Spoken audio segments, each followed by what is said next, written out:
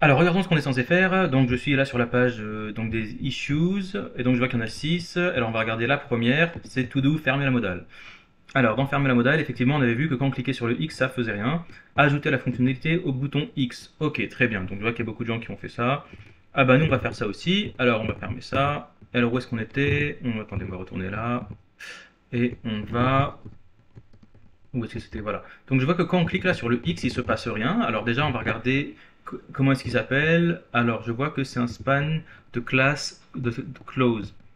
D'accord? Donc, c'est pas le content, c'est pas le close, donc c'est le modal body. Ok, très bien. Donc, en gros, celui qu'on va, on va mettre un listener sur le close, je pense.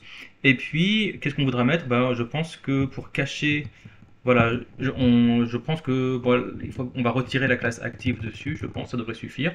Ouais, voilà, on va faire ça.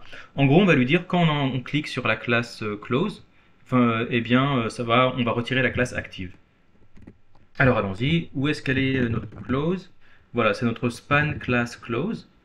Ok, alors allons-y dans notre modal JS, on va pouvoir mettre ça ici. Et donc je vais dire bah, const close modal button est égal à document.querySelector close. Et alors on va lui mettre aussi un, euh, un listener aussi. Alors notre, alors sachant que encore une fois, notre close modal button, je vais lui mettre un clic dessus, mais vous avez vu que tout de suite là j'ai une erreur, il va me dire attention, c'est peut-être nul. Parce que là, tu es en train de chercher un élément sur la page, mais c'est pas forcément sûr qu'on va le trouver. Donc tout de suite, je vais lui dire, eh bien, euh, si on ne trouve pas, on va, euh, mettre, euh, on va mettre une erreur.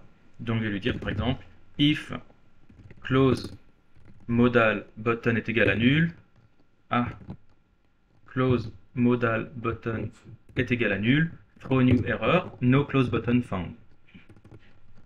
Parfait. Et ensuite, je vais dire close modal button.add event listener. Sur le clic, on va faire une, on va appeler close modal. Alors, fabriquons cette fonction close modal ici. Alors, bah, nous, c'est assez facile maintenant. Nous, ce qu'on avait fait sur, euh, la modal.css, on avait vu, juste dit que, en fait, quand elle est, par défaut, elle a un display none et que quand on rajoute un active, elle a un display block. Alors là, quand on clique là, non, pardon, c'était pas là, je pense que c'est là. Donc là, on voit qu'on a notre, background qui est active, et nous, on va juste lui dire, tu vas retirer la classe active. Vous voyez que si là, je la retire à la main, hop, on est bon. Donc là, je vais juste lui dire d'aller chercher le background, et de lui retirer la classe euh, active. Alors, où est-ce qu'il est? Donc, est-ce qu'on a le background? Voilà, donc c'est lui, c'est modal background. On va aller là, et puis je vais lui dire modal background.classlist.remove active. Ah, encore une fois, qu'est-ce qu'il me dit? Il me dit modal background, on n'est pas sûr qu'il existe. Effectivement.